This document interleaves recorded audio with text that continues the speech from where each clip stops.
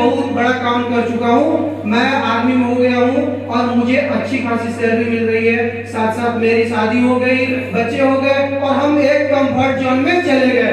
Comfort zone मतलब हमें जो पैसा आ रहा है, उसका यूटिलाइज करना और खाना पीना खाना और सोना बस।